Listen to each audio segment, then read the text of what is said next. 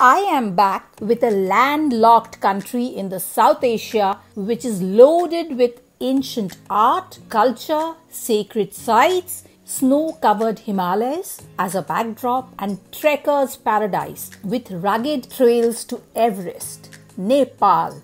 I strolled through the medieval city squares of Kathmandu, Patan, and Bhaktapur and joining Tibetan Buddhist pilgrims on a spiritual stroll around the centuries old stupas and monasteries. We checked into Hotel Summit in Patan, where I was welcomed with a warm hospitality. We took a stroll in the Patan area for historic monuments, which has the finest collections of temples and palaces in the whole of Nepal. Patan's spectacular Darbar Square is most visually stunning display of Newari architecture seen in Nepal. In the evening, we went to a friend's house where we had scrumptious dinner, but the highlight of the evening was Raksi, locally called Aila. This is a specially brewed rice wine created at home and this is 35 years old. This was made by our host's mother for his wedding and he has preserved this for his son's wedding as well. This is very very special. Jai Bhairav. The next morning, we went for darshan to Pashupatinath temple. It's considered one of the sacred temples of Hindu faith. After the beautiful darshan, we had chole puri for breakfast. We headed to Bodhanath, a UNESCO World Heritage Site. The Buddhist stupa dominates the skyline. It is one of the largest stupas in the world. For lunch, we headed to Hyatt Regency Kathmandu. I was served an authentic thakali thali in which few dishes were of Newari origin fit enough to be served to the queen. I also tasted Himalayan cheese and yak cheese. Here, vada served in the form of dosa, more flattened and pancake-like topped with different fillings, served along with a variety of jhols and relishes. Yum!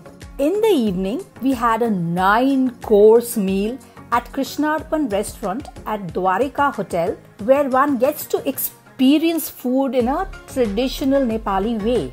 They offer meals ranging from 6 to 22 courses that are served on a traditional brass and earthenware and served by hostesses representing Nepali diverse ethnic communities.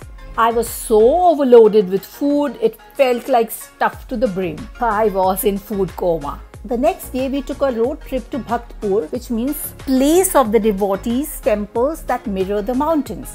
Bhaktapur has the best preserved palace courtyards and old city center in Nepal, and that is listed as a World Heritage Site by UNESCO for its rich culture, temples, wood, metal, and stone artworks. Later, we went to a popular place, Dale, for momos, where we had the unique jhol momos. Then we headed to Darbar Chowk in Kathmandu and saw palaces, the square, surrounds quadrangles, revealing courtyards and temples. It is also known as Hanuman Dhoka Darbar Square, a name derived from a statue of Hanuman, the monkey devotee of Lord Ram.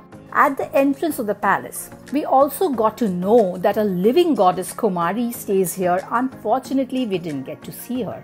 Though 2015 Nepal earthquake caused a lot of destructions, but slowly and steadily it is getting back to its glory. Nepal is one country which was never invaded by anyone because of the climatic and geographical conditions. This is the main reason why the food and the culture are protected and there has been no intermingling. This, according to me, is the most unique feature of this country's cuisine. Although Nepal is prone to natural disasters, but it has retained its rich culture and preserved its heritage.